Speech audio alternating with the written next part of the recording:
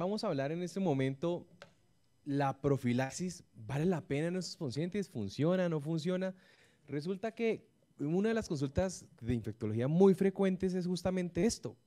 Los pacientes vienen frustrados, vienen deprimidos, llevan años, pero ¿qué es lo que pasa? Que uno dice que les dicen, pues mire, son estas lesiones desaparecen con o sin tratamiento, de esto no se va a morir, no se preocupe. O les dan un ciclo de aciclovir y listo, pero el paciente dice, pero es que llevo un episodio cada mes, ya no puedo ir a playa, no puedo tener relaciones sexuales, eh, no puedo tener pareja, no puedo ir al gimnasio, eh, la ropa ajustada vuelve, me salen las lesiones. Entonces, puede ser que esto de verdad no comprometa a los inmunocompetentes, pero la calidad de vida sí se ve bastante afectada. Entonces, los, miren la problemática. Esto es un estudio que pues es, viejo, pero que quería que vieran más o menos eh, qué evidencia artículos como este. Y es que se evaluó la población entre 15 y 49 años entre 1976 y 1994. Y lo que encontró ese estudio es que más o menos el 22% de los evaluados tenían eh, herpes, o sea, eran potencialmente transmisores. Y cuando uno busca, bueno, vamos a mirar la prevalencia un poquito más actualizada, uno encuentra eh, noticias incluso de la OMS que son esos encabezados tan dramáticos. Una proporción masiva a nivel mundial viven con infecciones por herpes. Y si lo ponemos en números, 492 millones de personas están infectadas hacia 2016. Eso es muchísima gente. De hecho, eso se traduce en el 13% de la población mundial tiene herpes. En 2016, no sabemos ahorita, pero en 2016 era el 13% de la población mundial. Esto es más o menos la población entre 15 y 49 años. Y al menos el 5% de la población mundial tuvieron un episodio de una ulceración en 2016. Eso es demasiado. Eso es muchísima, muchísima gente.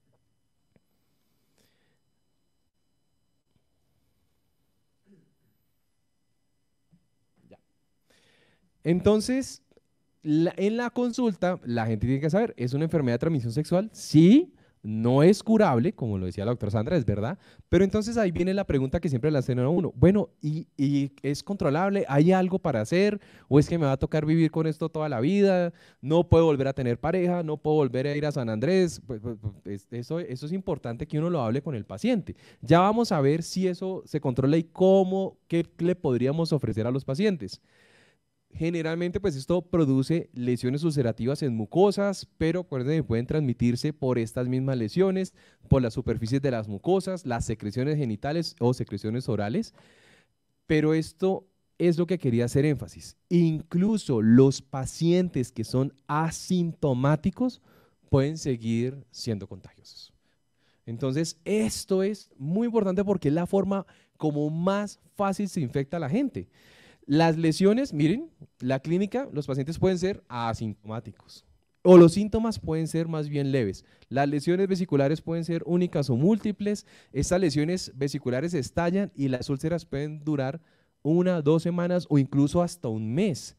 Generalmente el primer episodio es de duración mayor y es mucho más potente y en las recurrencias tienden a ser menos. Por eso también la gente se frustra mucho, no les ponen mucho cuidado porque si bien las lesiones se vuelven más recurrentes, pues dicen, ah, pues es que me dura cinco días. Eso no, tomes otra vez a ciclovir y otra vez y otra vez y otra vez. Y llevan 15 años tomando lo mismo y siguen con las lesiones cada vez más frecuentes.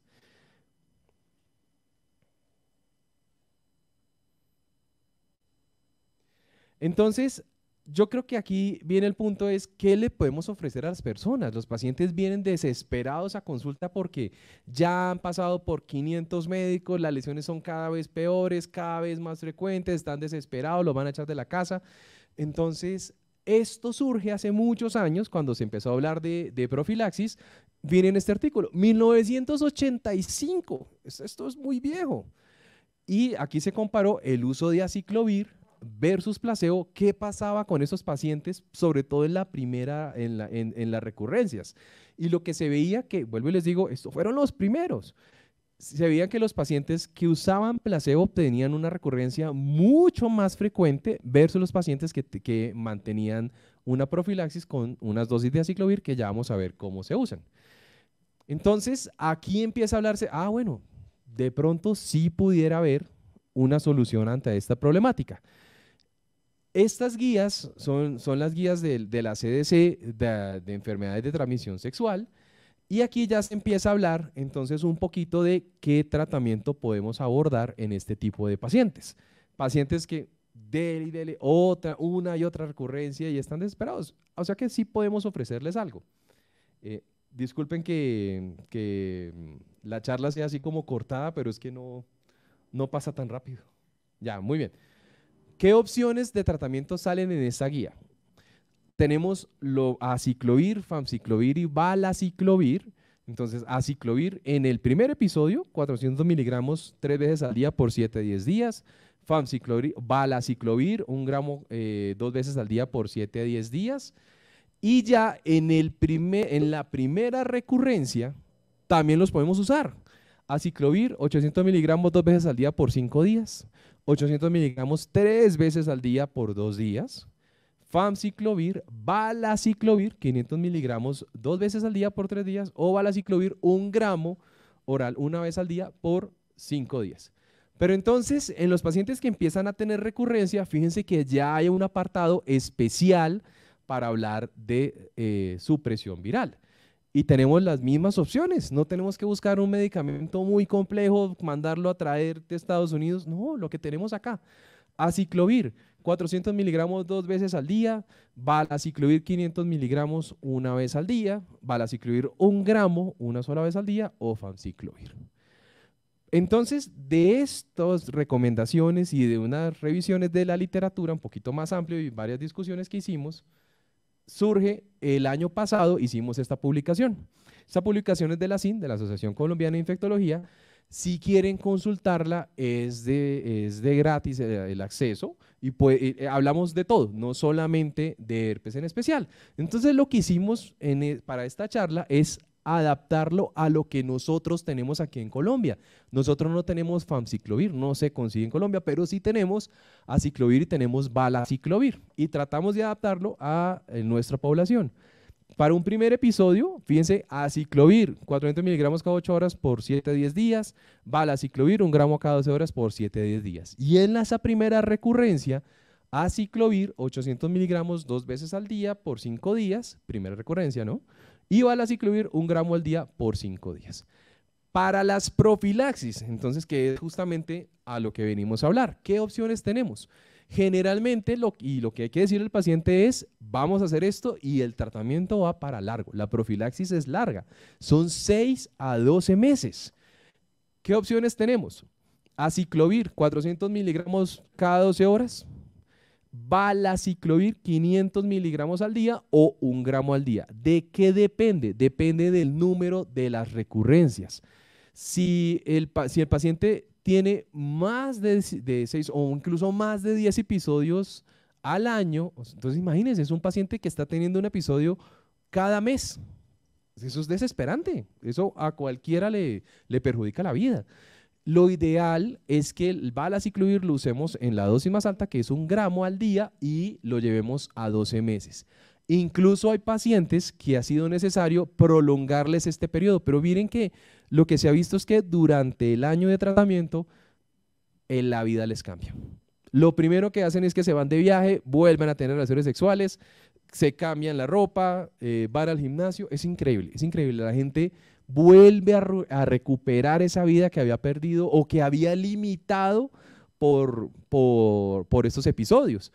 Miren que también eso también nos sirve para pacientes embarazadas. Si las, como la meta en pacientes embarazadas es que lleguen al momento del parto sin lesiones, fíjense que este tipo de pacientes también tienen opciones y también podríamos usar aciclovir o balaciclovir.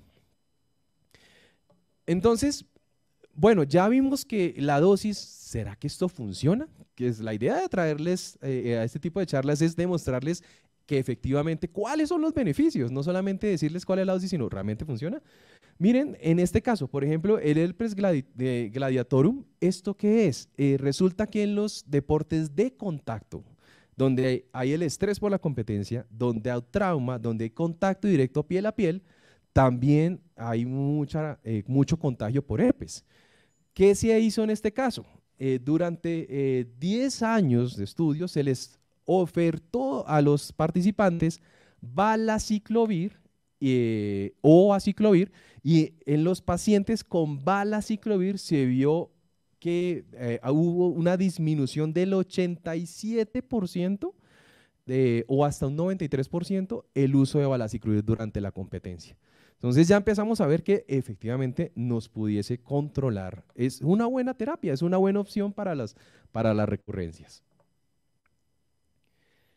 Y entonces la, pregunta de la anterior charla, Mm, bueno, ¿y los efectos adversos a largo plazo? ¿Sirve, no sirve? ¿Será que me va a hacer mucho daño? Claramente estos son unos pacientes que también, así como el PrEP, hay que hacerle seguimiento. Los medicamentos no son inocuos, tampoco esto es agua bendita, pero se toleran muy bien. Ese es un estudio de que, pues, que se ha visto la tolerancia a este medicamento, un estudio a 20 años. ¿Cuál es la tolerancia? Y fíjense que los efectos adversos más frecuentes si bien son bajos, son menores del 5%, pero lo más frecuente que dice el paciente es náuseas. Eso es el, efecto adverso más frecuente. Los otros efectos adversos, ¿cuáles son? Generalmente son más gastrointestinales, reflujo, eh, hay pacientes que les da diarrea, eh, dolores de cabeza, decaimiento, eh, incluso vaginitis. Pero miren que el porcentaje realmente es muy bajo.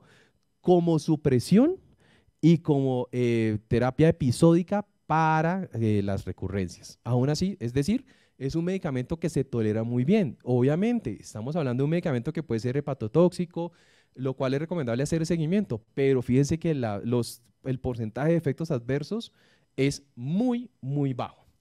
¿Qué otra cosa además le ofrece uno a este paciente? Y es que el uso de balaciclovir y aciclovir pueden frenar el shedding viral, es decir, la expulsión del virus aún en pacientes asintomáticos.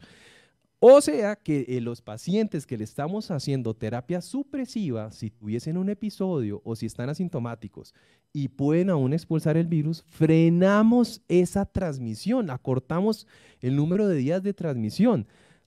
Eh, eso también se vio en otro estudio de la misma revista, del mismo, de la misma publicación, donde también soportaban el uso de, de precisamente para disminuir el riesgo del shedding viral.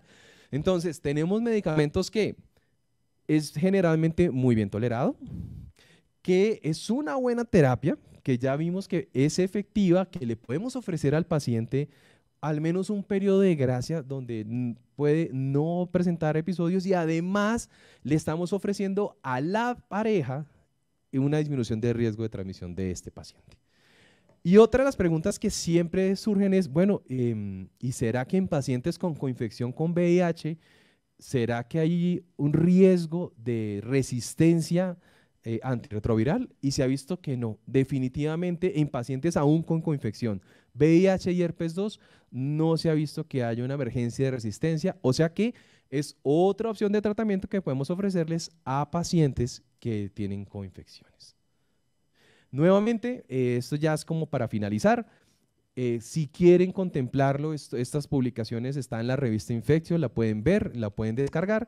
Y lo que quiero dejarles como, mm, como memoria de esta charla es, si hay opciones. Estos pacientes llegan muy frustrados, llegan demasiado eh, lesionados después de tantos años de estos episodios. O sea que denle esa oferta o mándenlo a infectología. Si hay, denle esa oportunidad, si hay chance de darles una mejoría en la calidad de vida. Y listo, muchísimas gracias.